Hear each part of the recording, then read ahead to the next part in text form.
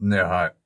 We are in Switzerland, and I was searching for stuff for just looking around, and I found that one, Hohgant. Started to watch the pictures. Yeah, nice, basic Swiss mountain scenery. Sun is shining, of course. they can afford it.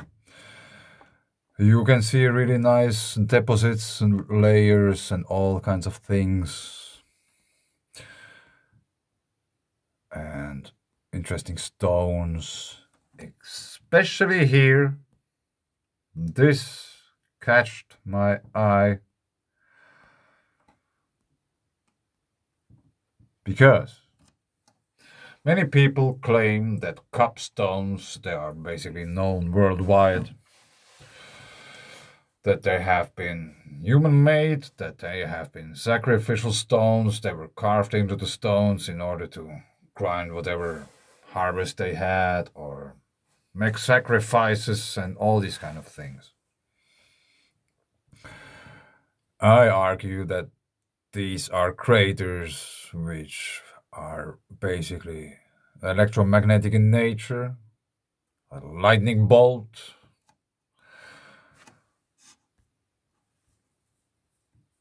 And it would be really interesting to go there and check them out a little bit close because they seem to be dark in the middle. So it would be really interesting to figure out how deep they are. And we have this kind of similar shaped forms also here. And here's probably one more. And if you watch around there, it's on top of a hill.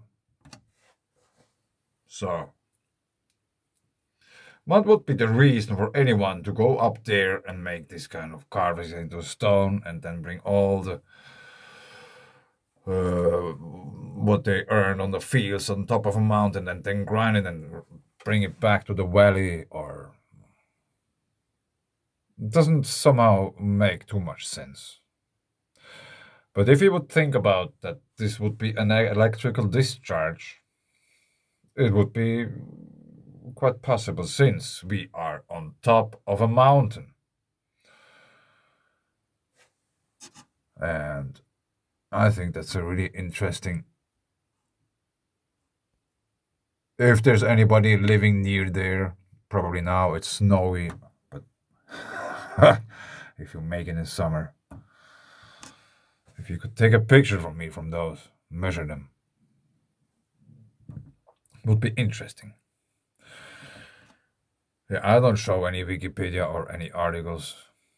No, I just wanted to share you with you those few holes in a stone which seem to be really natural in origin, since there is no distinctive pattern or whatever to those. I mean, geometrical patterns or these kind of things. Which would you what what you would expect from human doings?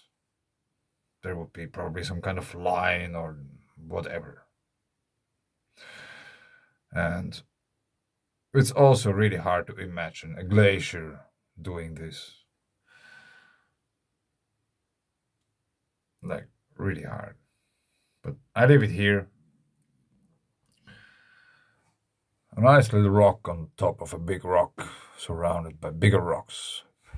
The Alps, something. Thanks.